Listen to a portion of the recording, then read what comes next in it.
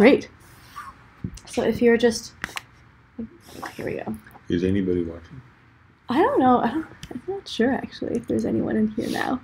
But it'll be how- recorded. So It'll be recorded, yeah, people In can- the future, that'll be an option. Yeah, yeah. Um, But so I should look at you rather than at the computer. yeah, you should look at me. Okay. you Yeah. got it. Um, so what brings you to BioHub? Uh, I'm going to be talking to uh, people. I'm part of the the outside speaker series. Mm-hmm. Um, there's an inside speaker series, which is for people who are from UCSF, Stanford, or UC Berkeley. Is that right? hmm That's true. Yeah. I'm not from that. I'm from the outside speaker series, which are people who are not from any of those institutions. Yeah. And um, I guess well, you're talking later today, so I don't want to give away the talk yet because I still want to be surprised. Um, but uh, what um, what makes you excited about BioHub? Well, I, I'm very interested in science, and what I realized is sort of every fact that I know about science is wrong. And every noun that I've learned about science, organism, cell, protein, gene, evolution, is just a box full of a thousand questions that I don't know the answer to. So to me, it's very exciting to kind of learn the level of my ignorance um, and just realize there's all this, you know, evolution. But what is evolution?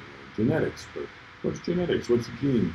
Uh, all that seems super uh, exciting and interesting to me. Mm-hmm. Cool. Um, and so, what? I guess what do you hope to gain from talking to me? Because I would say, for me, I learned that those terms are wrong all the time, and the terms that we use at any particular point, like gene or like organism, are yeah, just our whatever our current understanding is, and we use and, and like the people in the room who are using it have all hopefully agreed on what that means and then can use that concept to then move on describe the next one. But I don't know. I wouldn't. I would say scientists themselves still um, think um, still find that terms like that to be ambiguous. Right. So I'm curious. Um, when did you first have an idea that you're still proud of having? Uh, I think uh, one of the, my first scientific experiments was uh, I wanted to see whether sunflower plants would grow faster if I watered them with tea instead of water. Uh huh. When did you have that idea? Uh, I was probably like seven or 8 Mm-hmm.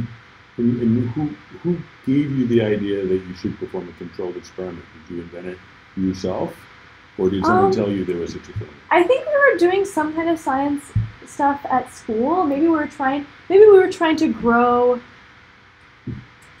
uh, sunflower plants in general, and we had to grow a few of them to um, to as a as an experiment itself. Like maybe we had to grow three as part of the school uh, project. So the school had taught you the idea of what an experiment with sunflowers was. Maybe my parents are also mathematicians, so they they could have influenced me as well. Um, but I think I just really wanted to. Um, but yeah, I knew that tea. Like I wasn't allowed to drink tea at that point, that, so it was this a controlled substance Sure.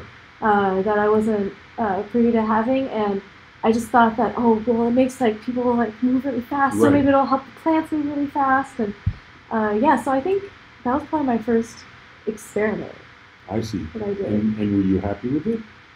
Uh, well, the results were inconclusive. They grew, Okay. grew at the same rate. I think over a week they were I about see. the same. So you were not growing them all the way to sunflower, No, no, no. Just I didn't have that kind of patience. Yeah. And how about in your since you were eight? Like, what's the first idea you have that you still put on your CV? Hmm. Um, I think it would probably actually be more recent. I think the the scientific ideas that I'm exploring now are the are some of the ones I'm most proud of.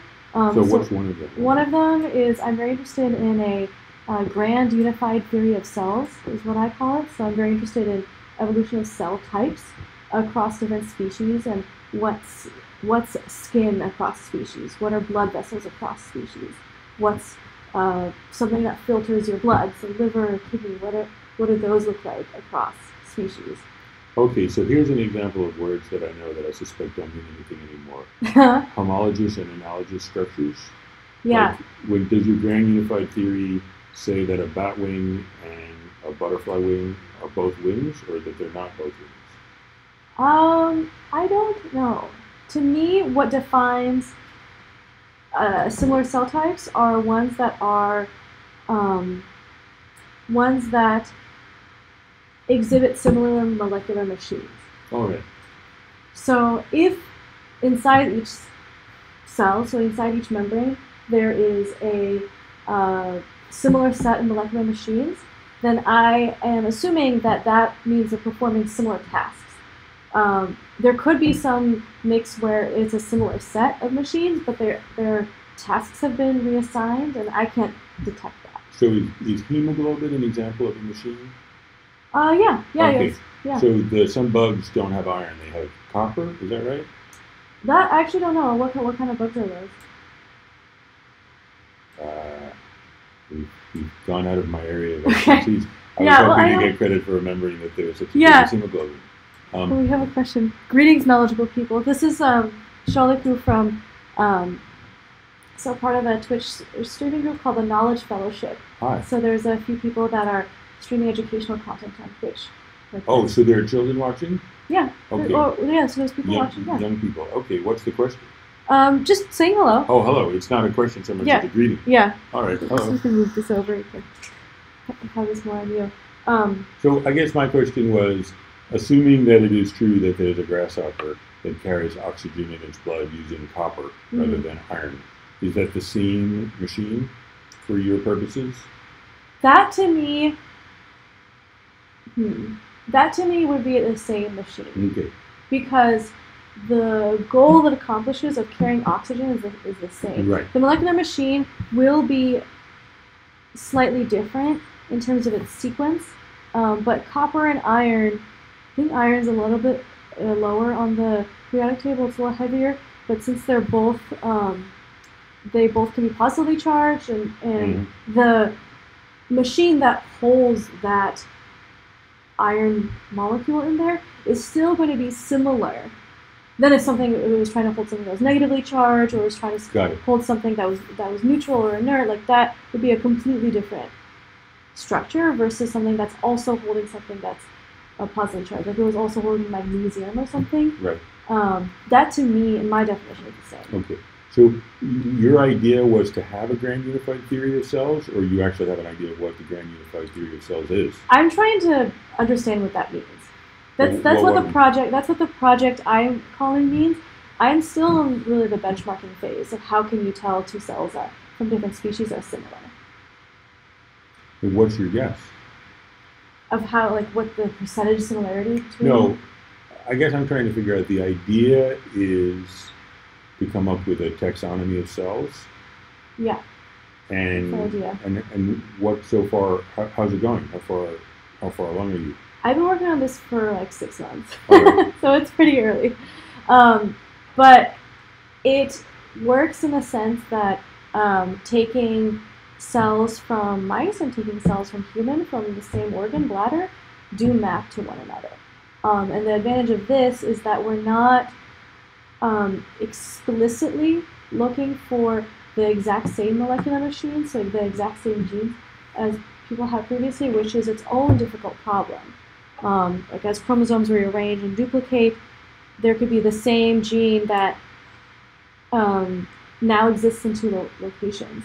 So there's not a lot of one-to-one. Well, there's a good amount of one-to-one mapping, but then there's a good amount of like many-to-many, one-to-many mappings from one species to the next, from one person to the next. Even. Right. So what this method does is it ignores the uh, entire gene structure and just looks at pieces of genes.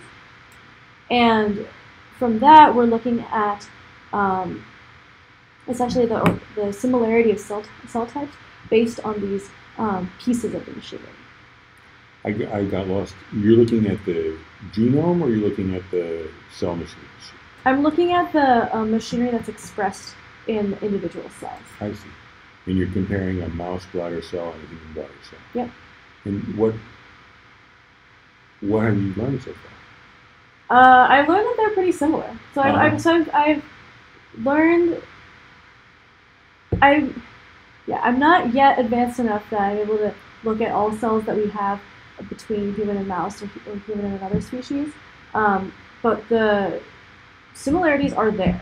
They're like the mouse bladder cells are more similar to human bladder cells than they are to like human lung cells. How Um, about mouse lungs? mouse lung cells. Um, so one experiment I did was um, looking at human cancer cells, um, ca- uh, lung cancer cells, and those were in that experiment very similar to epithelial cells, so surface cells of the large intestine. Huh. Um, so in that case, it's a little harder to say because the um, we know that data set has a lot of surface cells, but is it are they truly more similar to the um, the large intestine? Um, is the lung data set just kind of wacky and like we didn't annotate it so well, or it's not annotated so well, and the uh, large intestine data set is better? Um, or is it that the because the data is human lung cancer, that we have some normal cells and some cancer cells, and these cancer cells look more like these uh, lung large intestine Mhm. cells. I, I don't know yet. I So, don't know. so um, what is a data set? Uh, data set, in my case, would be a group of um, cells and their um, their molecular signatures. Okay, so it's not it's not I shouldn't view it as like a computer file full of information. It's an actual physical object.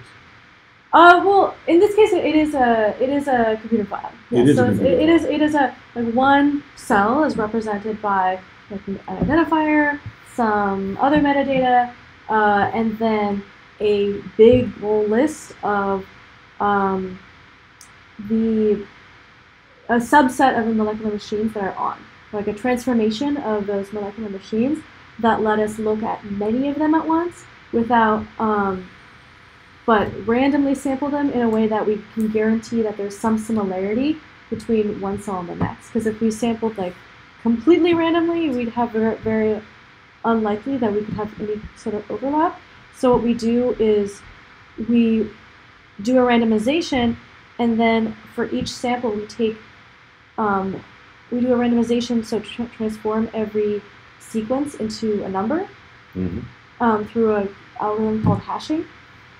This is how like cryptography and Bitcoin and all of that work. Uh, so we transform each molecular piece of a molecular machine to a number via hashing. Because all those numbers are randomly generated, we can sort them, and then we have a random sorting of our original data set. Why do you want a random sort? Because the full data set is a bit redundant. We don't really need to see every every every single piece. Okay, We can subset some of the data and still retain a lot of the relationships okay. that we see. And that to me has been the most surprising thing. So say you have um, so in my experiments I saw that we have uh, maybe like five million um, pieces of molecular machines per cell hmm these at least this kind of human cell. We really only need like five thousand to tell differences between cells. Maybe one thousand to tell differences, and five thousand to really say that these are similar. Okay. So that's like one, not even one one thousand. What is it? one- Yeah, one one thousandth of what our full data set is. So it's a little bit like if you took a sentence out of a book, you could tell if it was in French or English. Yeah, exactly. Th th this algorithm actually comes exactly from um, from uh, finding duplicate websites. So it was originally used by uh, Alta Vista for finding duplicate websites, um, which is funny because now I tell people that and, and, and I have to remind them that like I am old enough to know what Alta Yeah, Vista what is, is Alta Vista? and that and that they may not know. Right. um, which is kind of funny. And but yeah, to find duplicate websites because it's very unlikely that like yeah, two sentences from um, two different uh, books are the same. Right. Right. Or but you don't need to check every sentence. You can you can check every hundredth sentence and you'll be able to figure out if they're duplicates. Yeah. Got it. Yeah. Do you want to ask me something? Um, you don't have to. I can keep asking you. something. Yeah. Um, what? I guess. What has been? Um, what has been the most? I'm gonna ask that question. It seems like too.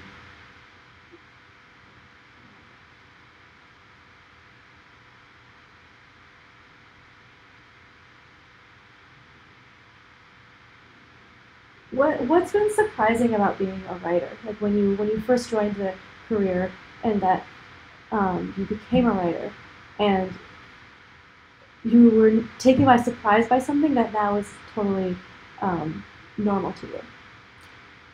Well, I was very surprised by the notion that collaboration could yield good results. Hmm. Because I sort of came into it with the idea that to be a writer means to have your own unique, distinctive voice. So I thought, well, if two people are collaborating or ten people are collaborating, that that would lead to a kind of um, averaging out the, Hmm. the quality. And I've learned that that's not really the case, that you can, if you sort of get on the same wavelength, get synergistic effects from people collaborating. Hmm. That people can figure out what is their strong suit and play to that, but also people can divvy up things and people can learn to copy each other or hone in to sort of triangulate on a way of looking at something or a way of writing in a way that is good. Hmm. Um, and that was interesting to me. And I guess I suppose it makes sense because you're never truly writing alone because you're always writing with at least one other person in mind who's the audience. You're not really writing for yourself, but it's an act of communication. Mhm. So it makes sense to me that, well, if three people are trying to communicate with three other people, well, those three people can improve their communicative strategy uh, by teaming up. So Yeah. in retrospect, it shouldn't have been as surprising as it was, but it was. I think I may have just come into it with some sort of egocentric, romantic notions of like a lone poet or something Yeah. like that. Yeah. Do you think that's also part of schooling too? That like in school, I mean, you- you're not allowed to plagiarize or work with other people. Um, Yes. As as certainly, explicitly. yeah, certainly nobody ever said in school, why don't you guys team up in a group of five and write a story? hmm So sure, I do think there's something to be said for that. Uh, I think you could imagine a, a schooling system or a civilization where they tried to teach people uh, cooperation more. Hmm. I've heard that it's more cooperative in Finland Hmm. than it is in the United States. I wouldn't be too surprised. See if we have any questions. Do you have any? Do you consider similar structures with average through uh, convergent evolution in your grand unified theory? Um, I think in so in my definition, I would say yeah because That was what Uh, I was going to say. yeah I assumed it was talking about your grand unified theory, so I let you. yeah no the the only grand unified theory if you Mhm. ask me Okay. uh, the yeah if if ultimately the machines are the same and they're function in um, they're producing uh, similar results that to me those are the same cell type i'm not trying to trace um, i'm not trying to uh, say that i'm not trying to say that something can only be accomplished through convergent evolution or for from uh, a common ancestor. To me, if the something was the same across um, multiple species and accomplished the same function, but was arrived at multiple different ways, I'm fine with that. Right, right. And there may be just certain uh, physical constraints on engineering solutions, so Mhm. they may tend to be only four ways on Earth with our atmosphere to fly. Yeah. knows? Yeah. Why do you think um, a wheel never evolved? Yeah, we we were talking about this at lunch. I think Yeah. that's interesting. Um, Somebody claimed, by the way, at lunch that a wheel did evolve because an armadillo can roll into a ball. I find this to be sophistry. Um, I think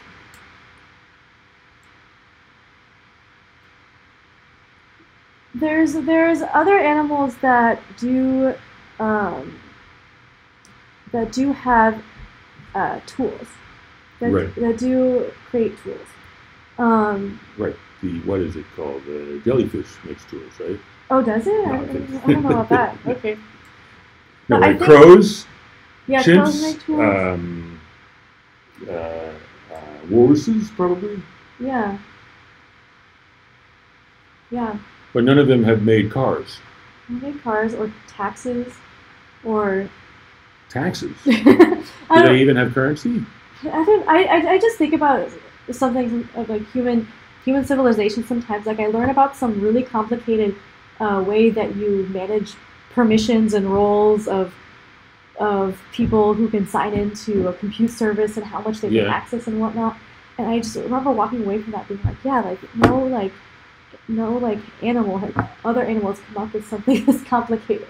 This is just very, very complicated. But I do think it, it actually comes back to collaboration because I think Mhm. the the from what I've learned that there are few other organisms that have as compared to humans have similar like, tool building intellectual capacities but also collaborative natures that you Mhm. don't often see like two chimps like whole like carrying something like carrying like a log together over a stream or Right. some other collaborative effort for this like greater good of the organization. It's always like a constant fighting of like who's going to be alpha Right. and who will be the who will be the best there. So I do think the collaboration in What I read was that chimps can learn, Mhm. but chimps cannot teach. But the Hmm. notion of a chimp saying this is a pretty good way to get termites out of a a termite mound with a straw, that they'll learn it, but they won't deliberately teach it to other chimps. Hmm. And then sometimes a chimp will watch another chimp doing it and will learn it, but they won't teach it. And that means they kind of don't have cultural evolution. Yeah. That they can copy something, and they'll do that. And there's some really interesting case about some kind of birds in England that learned to break open milk when it was delivered and drink the milk. And that behavior would spread, it spread to Germany Wow. that birds would copy other birds.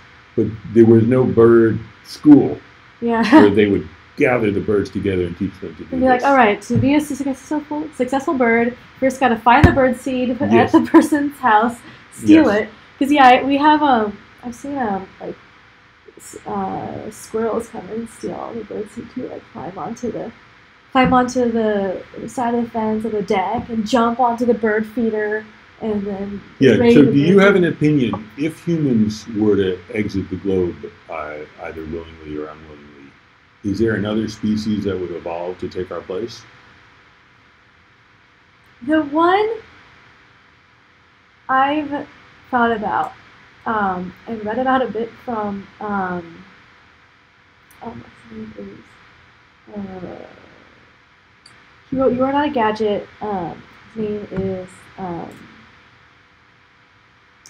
Cleon? no. It sounds it sounds like Lannister, but it's not Lannister. Uh, I will remember it, but Okay. um, but he was an early pioneer of virtual reality, and one of Lanier, Jaron Lanier. yes, Jaron Yes. Lanier, yes, and um, from his writings, he I think convincingly states that um, that cephalopods, so like octopus, Yes. uh, squids, and, and cuttlefish, I think they are actually quite nicely poised because they have quite a bit of like tool development Right, and a right. lot of intellectual capacity. Hi. Hello. How are so you? not walruses. I don't think walruses. No, Okay. I my my money's on octopus. Okay. My other, uh, my actual answer is not walruses. I think it's squirrels. Squirrels, yeah. Yeah. Nice. They're very smart. They're energetic. They've got a can-do attitude. Yeah, we used to feed a squirrel by our house, and then uh, we stopped feeding it. Well, it got really, really fat. Oh, it does. then we stopped feeding it, and then I saw it the other day. It didn't look so good. oh, you think it would have been better not to interfere? Yeah. Perhaps. Yeah. All right. Okay. Thank you so much, Eric. Nice to meet you. Nice to meet you too. Hi, Twitch Thank- people. Thank you, everyone.